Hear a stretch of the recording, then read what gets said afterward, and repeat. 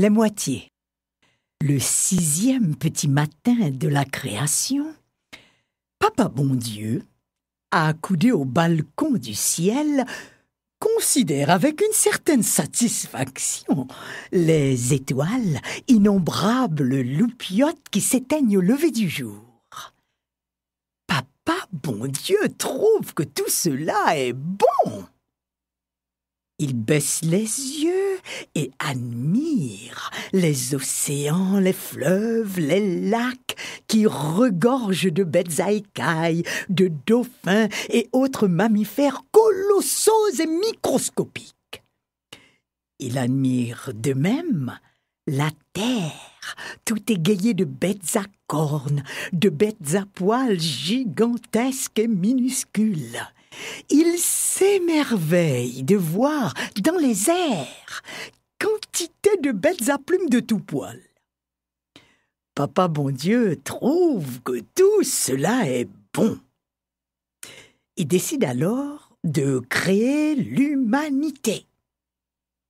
Il prend de l'argile et fait trois boules, deux petites pour deux têtes et une grosse pour un ventre. Avec un long boudin, il fait quatre bras et quatre jambes. Il rassemble tout auquel il donne deux sexes, comme pour la vanille. Et il pose cette créature androgyne sur le sol.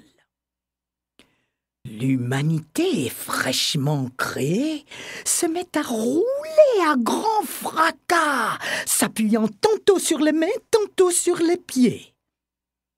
Papa bon Dieu arrive à supporter ce vacarme, car il a une grande capacité de concentration, mais la vitesse avec laquelle la créature androgyne se reproduit le laisse pontois.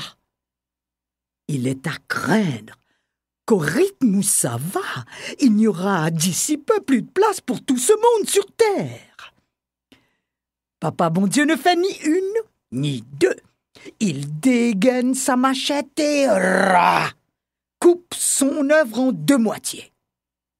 Pour la première fois, l'humanité divisée en mâles et femelles se retrouve debout sur ses pieds et se met aussitôt à courir, courir, courir. Où va-t-elle? Et grand Dieu, que cherche-t-elle? Chacun cherche la moitié qu'on lui a enlevée. Beaucoup la cherchent encore. Il y a tant de monde sur Terre que ce n'est pas chose facile de tomber sur la bonne moitié.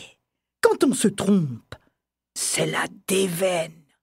Quand on la trouve, c'est le bonheur.